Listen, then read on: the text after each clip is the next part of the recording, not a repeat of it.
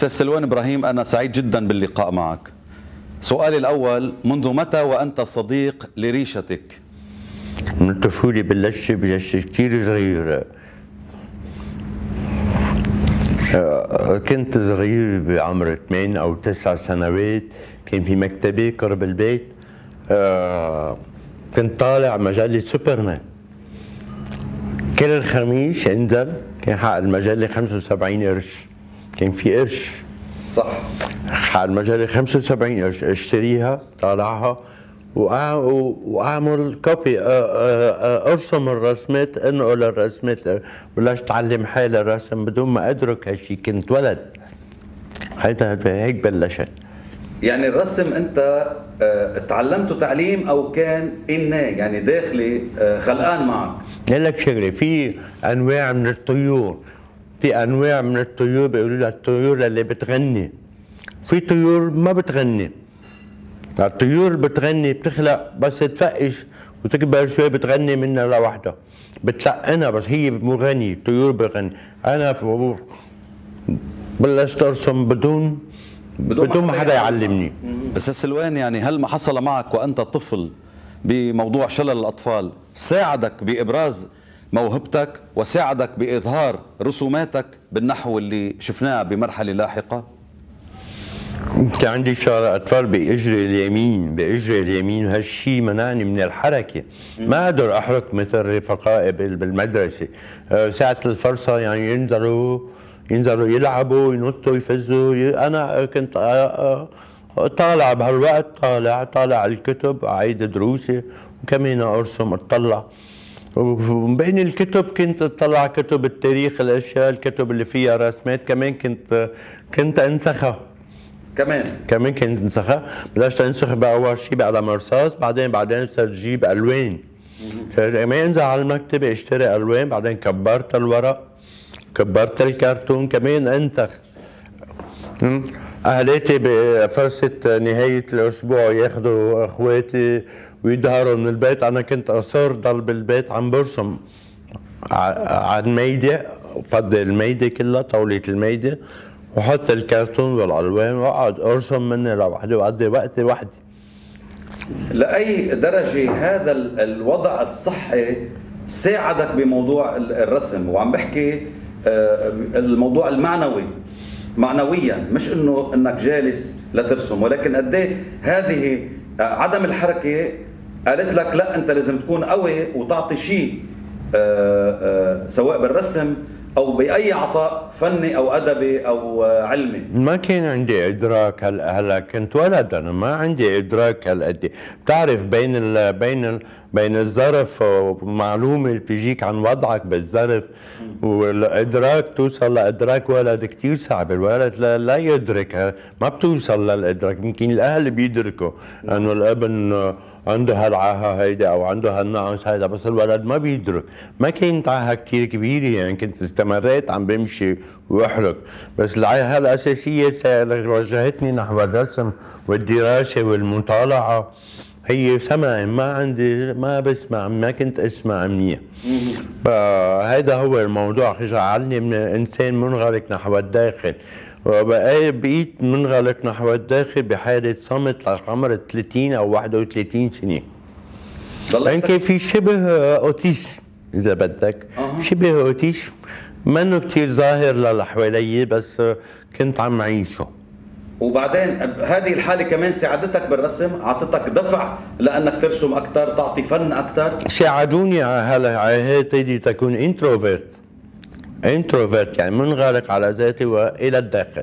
ومنقول شغلة تنقول شغلة إذا بدك العالم الخارجي برا العالم الخارجي le monde extérieur العالم الخارجي هو برا. واما أما العالم الداخلي فهو جوا. لما بنرفع الدعاء وبنرفع الصلاة بنغمض عيننا. من كل الكرة الأرضية وشعوب الكرة الأرضية بغمضوا عينيهم لما بيرفعوا الدعاء. معناتها السما جوا مش برا. حلو. العالم الخارجي برا إنما السماء هي جوا في الداخل. هيدي الأفكار آه، أستاذ سلوان. طبعا انعكست على رسم على رسوماتك. اللي بي اللي بيشوف رسوماتك بتعتقد إنه بيفهم هذه الأفكار اللي أنت عم تقولها؟ الرسومات اللي أنا عم بشتغلها إذا بدك باللوحه في كذا كذا طبقة كذا طبقة من consciousness من الوعي. بترجع للشخص اللي عم بيت عم بيتفرج أو أو المتفرج على اللوحه أو اللي عم بي عم بيقيمها واقف عم بيقيمها في يقرا في بتنقرا على كذا layer على كذا طبقة. في layer سطح كتير بسيط في إنه هي لوحة جميلة فيها ألوان. فيها ألوان وأشكال فيها حركة فيها فيها هندسة فيها فيها تلاعب بال- بالأضواء فيها بس هو ال- ال spectateur يعني هو اللي عم يتفرج على اللوحة بيقراها بحسب ال level تبع ال consciousness اللي عنده إياها أو بحسب قديش هو عنده ثقافة فنية.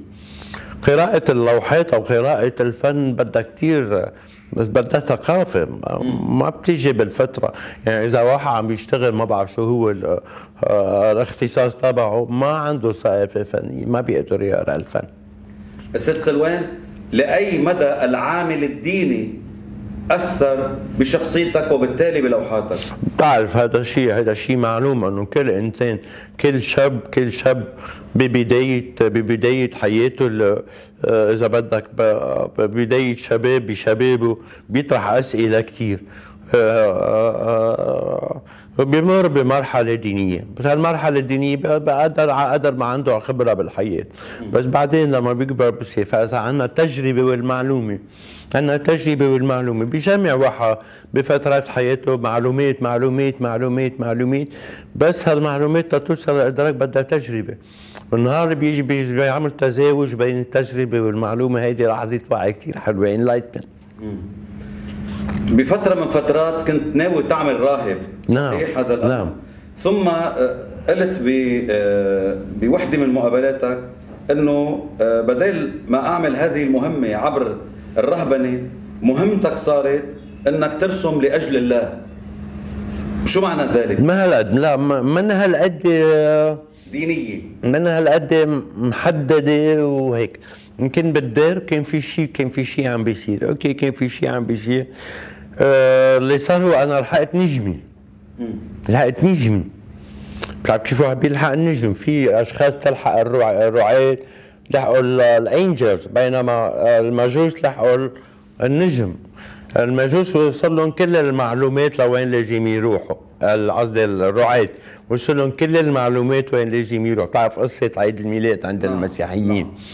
ب- اما المجوس ما وصل لهم معلومات وين لازم يروحوا كان وصل لهم طاقه تحركهم أنا وصل لي طاقه حركتني بس ما كنت مدرك انه ما كنت عارف ولا, ولا كنت مخطط انه بدي اعمل هيدا الشغل اللي انعمل أنا عملت شغله بس ما كنت وحدي ولا مره أنا وعم بعمل الشغل مين كان معك هني كان معي اصدقائي واخواتي واحباء قلبي عم بيعملوا معي الشغل كنت عم بعمله لإلهم من محبتي لإلهم من محبتي لبلدي ولا لا لا لا وطني ولا إخواتي ولاهلي بتقول أنت بوحدة مقابلاتك إنك بتتفاعل مع مع اللوحة وإنه مش أنت بتروح لعندها هي الفكرة بتجي لعندك. بلا. بلا صحيح. لأنه في شيء اسمه عاملة جاذبية. آه، إذا بدك اتراكشن نعم. attraction عندك نوعين من ال attraction attraction الإيجابية اذا بدك الجاذبيه الإيجابية والجاذبيه السلبية. حسب أنت شو في بداخلك تجذب نحوك كل شيء أنت بتتمنيه في م- م- معلمة بال- بالجامعة كانت تعلمنا. كان عندها هوس أنه بدها تموت خبصت خبصها كميون بالفعل خبصها كميون وماتت. خبصتها شاحنة وماتت. نعم.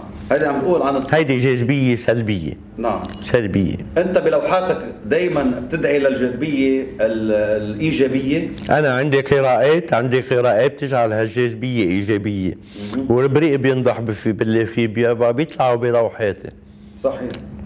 positive energy لوحاتك ال positive energy حلو. بس هي بينبقي بينبع في اللي في هذا موجود فيي أنا. أنا ما اخذت ما في شيء فيك عندي بال- بالشغلة.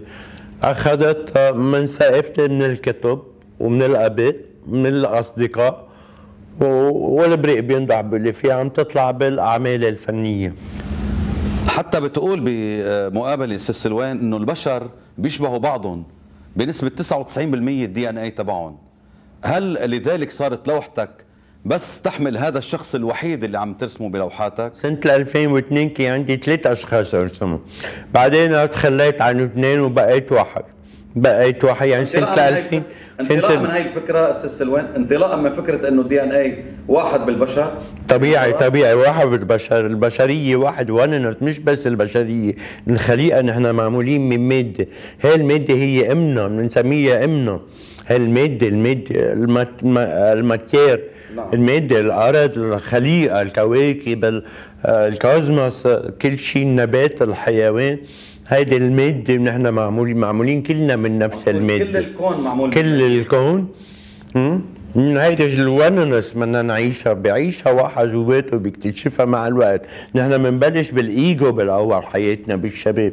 بس الإيجو شو يعني إيجو؟ إيجو يعني E G and O. يعني إيجو يعني edging God out.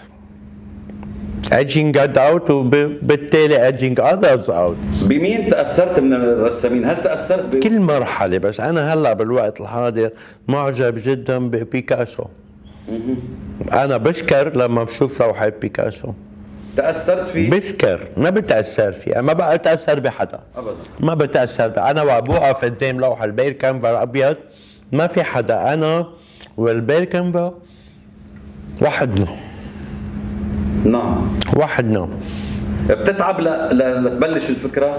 ابدا. بشتغل لوحة بتعب بشغل اللوحة. عم تاخذ كثير وقت معي شغل. عندي أفكار كثير ما بعرف بيمشي الناس بيقولوا الأفكار نادرة.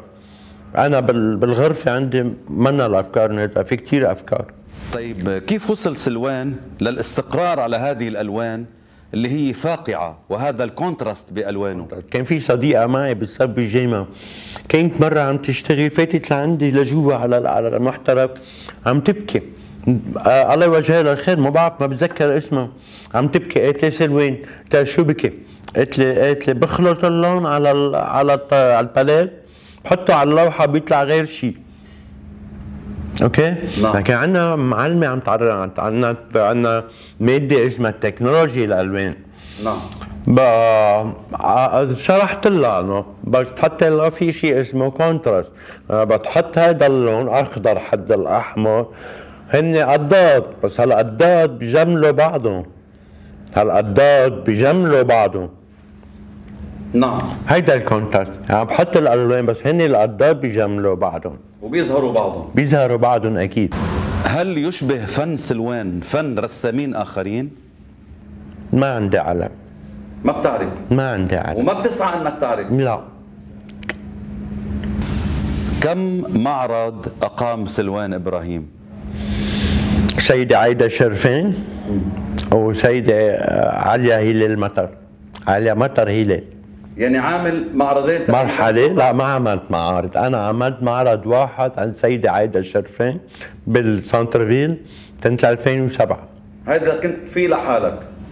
لوحة وهل آه، تتشارك بجالوريات تانية؟ يعني بتعرض ب... أبدا أبدا. عرض سيدة عايدة شرفين بعدين سيدة آه عليا مطر هلال بعدين هلأ مع خوجة فادي ملس هل بتقدر تحصي كم لوحة بعد؟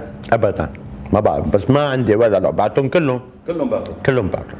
هل ممكن تحدد كم رسمي رسم بحياتك؟ ما بعرف. ما فيك تعرف. ما بعرف. بالمئات بالألاف؟ بالمئات.